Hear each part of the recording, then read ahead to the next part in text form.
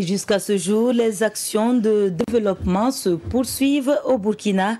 Elles sont souvent mises en œuvre dans le cadre d'une coopération décentralisée. Voici une résolution matérialisée par une signature de convention entre le Conseil régional du Centre et l'Union des Burkinabés du Grand Ouest. Elle devrait durer trois années avec la prise en compte de plusieurs domaines. Voyons cela avec Salifou Belem et Olopoda. Le Conseil régional du Centre et l'Union des Burkinabés du Grand Ouest de la France rendent officiellement leur union.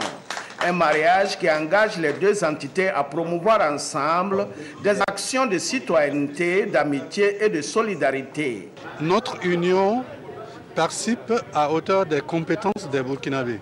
C'est-à-dire, nous avons dans notre diaspora des gens qui jusque-là ne voyaient pas comment apporter une contribution au pays. Désormais, ils bénéficient du creuset pour le faire. Et donc la convention sert de tremplin pour attirer toutes les compétences burkinabées vers le pays. L'aménagement du territoire, la santé, l'éducation, la formation professionnelle, l'eau, la protection civile, bref, presque tous les domaines qui concourent au bien-être des populations sont pris en compte.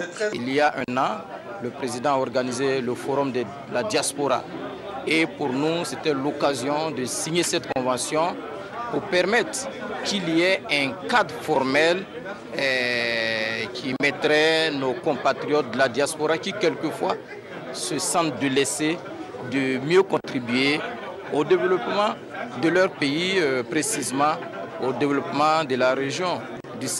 Cette collaboration qui va durer trois ans selon les clauses de la Convention s'appuie sur le principe d'un respect mutuel. Et au-delà de cette coopération décentralisée, c'est l'attachement des Burkinabés de l'extérieur qui s'exprime ici.